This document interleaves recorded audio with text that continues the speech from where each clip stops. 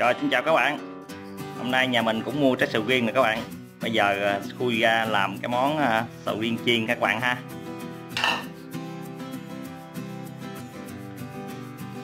Nè, trái sầu riêng này à, mới vừa mua, ngon lắm các bạn ơi. Tới mùa này sầu riêng nó cũng rẻ rồi các bạn. Mua về làm đủ thứ món về ăn chơi.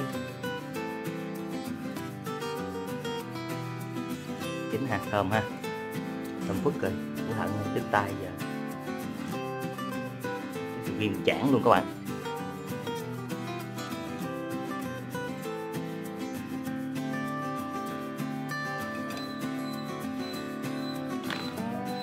Rồi lấy củi ra.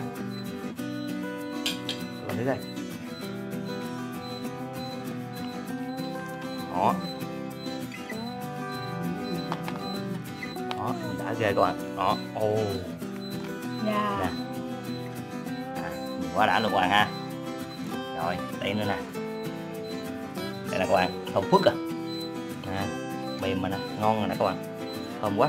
Và bây giờ mình bắt đầu mình sẽ lấy à, mấy cái muối này nè các bạn.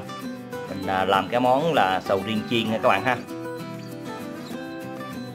Dạ, Vừa bỏ tô đây nè cái sầu, cái món mà làm cái món sầu riêng chiên nha các bạn.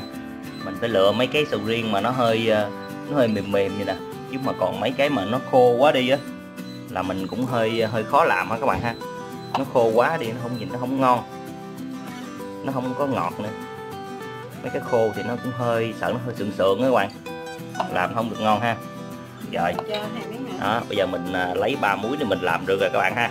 Bây giờ là mình à, sẽ à, lấy cái hột sầu riêng nha các bạn. Cái này sầu sầu riêng nó phải mềm mềm như vậy nè làm mới được các bạn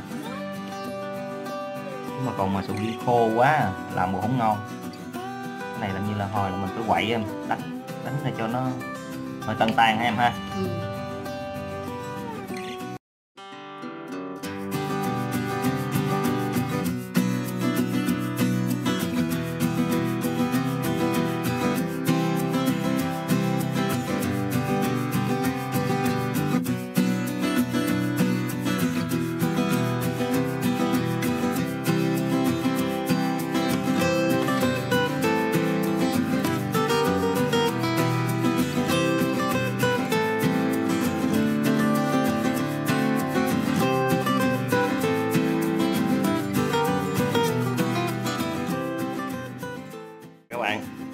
bắt đầu à, mình sẽ à, pha bột ha.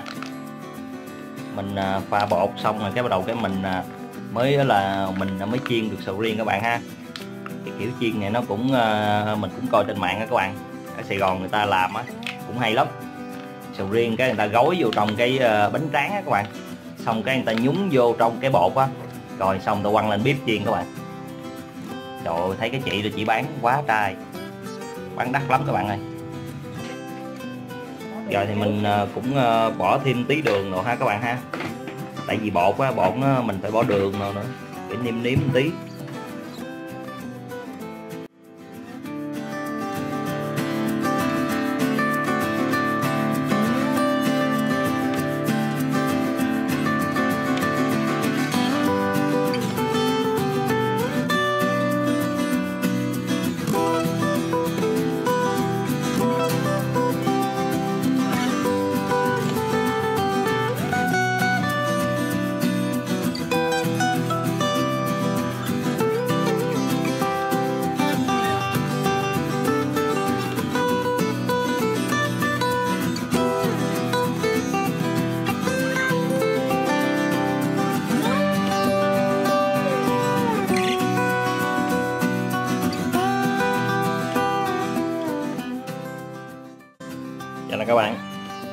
Liệu đã xong rồi ha.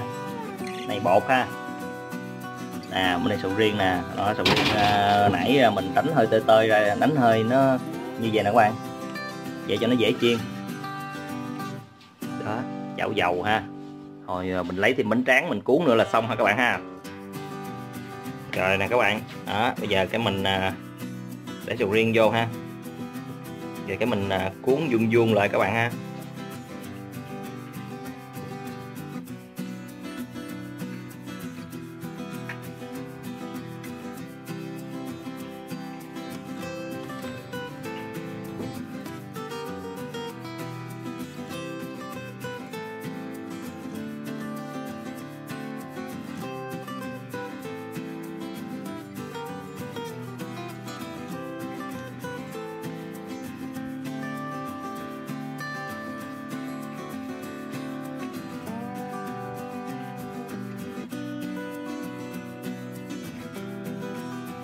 Đây là các bạn, đó, cuốn vậy ha.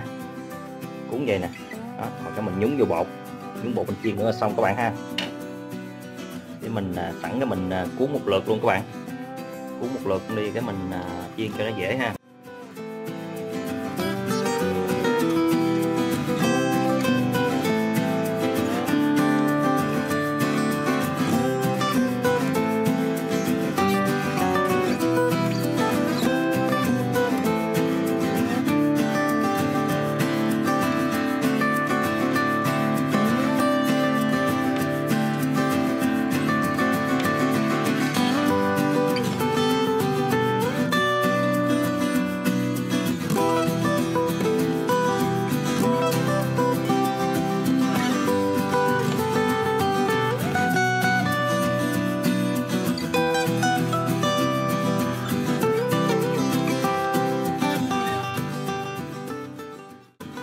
Nè các bạn. Giờ cái mình à, thả vô trong bột ha. Thả vô trong bột cho nó thấm bột cho nó đều. Cái mình à, để lên cái chảo dầu mình chiên các bạn ha.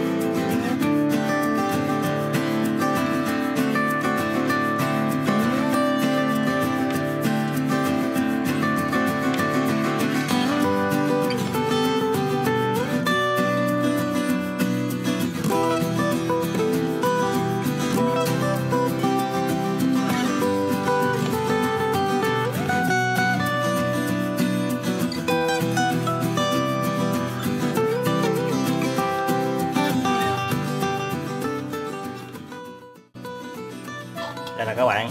Đó. Một hồi à, sau một hồi à, nghiên cứu lại à, bắt đầu làm, bắt đầu là khéo rồi nè các bạn ha. Nè, thấy không? Cái miếng này nè, mới chiên sao nè. Đẹp hơn miếng trước ha. Đó. Giờ miếng này cũng hơi nguội nguội rồi nè. Nhìn đã quá.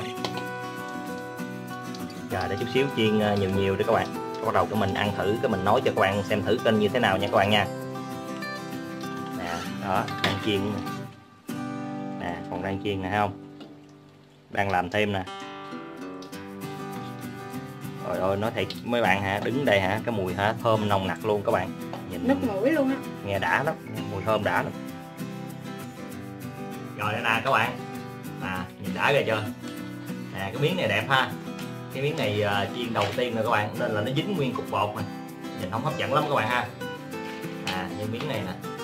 Chiên nè nó phồng lên nhìn, nhìn ngon các bạn ha nóng quá nóng hổi hỏi à?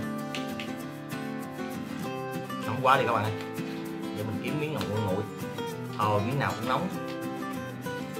Lấy miếng dưới này, này nha. Để mình vừa ăn thử xem như thế nào nha các bạn nha.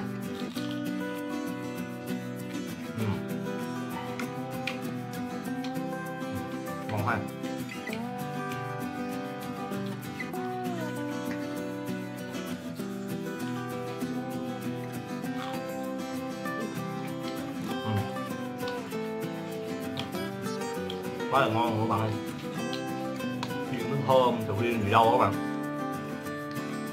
nó ngon nó um, thơm ha. Mà nó ngọt nữa các bạn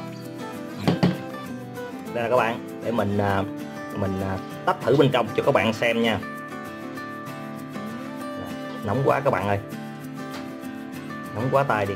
Nè, coi nè. Nó tươm. Nó tươm mật nè. Nó tươm mỡ chứ. Nè, vậy ha. À, nè coi sầu riêng nè các bạn. Nó thấm vậy nè. Nó thơm ghê các bạn ơi. Ừ, nhìn đã.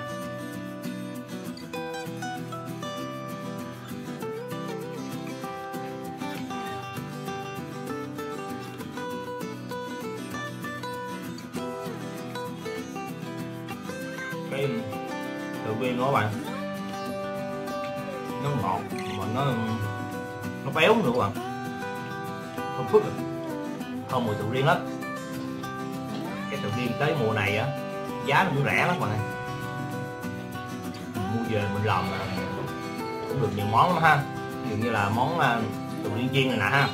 Rồi ví dụ như là mình à, à, làm à, chè sầu riêng rồi các bạn. Hoặc là xôi sầu riêng rồi người ta hay lấy à, sầu riêng nữa các bạn.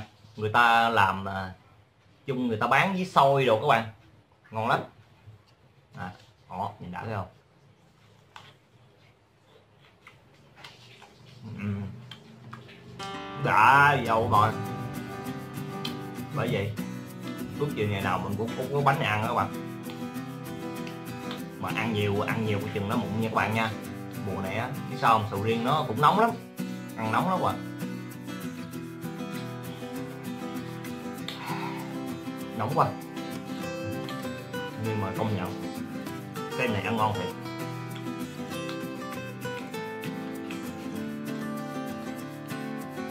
À, các bạn thấy công đoạn ờ, làm cũng tương đối dễ không? Mới đầu mình à, thì mình mình nghĩ là giống như là cái à, sầu riêng mà sầu riêng à, cái mình à, nhúng nhúng vô các bạn. Mà nhúng vô chắc chiên chắc không được ngon đâu các bạn. Tại vì nhiều khi là nhúng vô cái nó bở rệt nó nó chảy hết rồi các bạn ơi. Mà mình à, phải cuốn bánh tráng đồ là vậy đó. Mình cuốn như là một cái lớp bánh tráng mỏng bên ngoài thôi. Đừng bảo vệ cho nó đừng có bung ra ha các bạn ha. Chứ để mà sầu riêng cái nó chảy mình lum.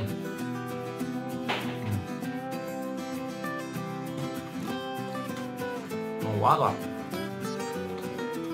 Cái này là lần đầu mình làm đó con. Công nhận ăn cũng ngon thiệt chứ. Ừ. tới mùa à, thuộc viên nó rẻ là mình làm đủ thứ đủ thứ món, ăn cho nó đã.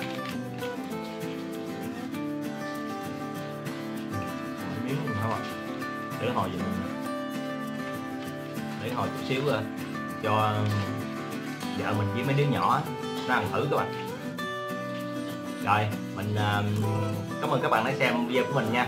Bữa nào mình ờ, cũng ờ, mua về sầu riêng ha. Mình về mình làm thử sầu riêng chiên này nha các bạn nha. Nhớ là mình sẽ mua trái sầu riêng mà nó hơi cũng như là cái hộp cũng như là cái muối sầu riêng các bạn. Nó hơi bở bở, nó hơi bở bở một xíu chứ mà còn mà cái loại mà giống như cái loại mà cà sầu ờ, sầu riêng mà nó khô que quá các bạn. Về chiên theo mình nghĩ chắc nó không ngon đâu, nó sẽ lạc. Còn sầu riêng này nó hơi bở bở, nó hơi chín chín nhiều vậy nè. Nó hơi mềm vậy đó nó sẽ ngọt ha các bạn ha rồi thôi mình xin chào các bạn nha.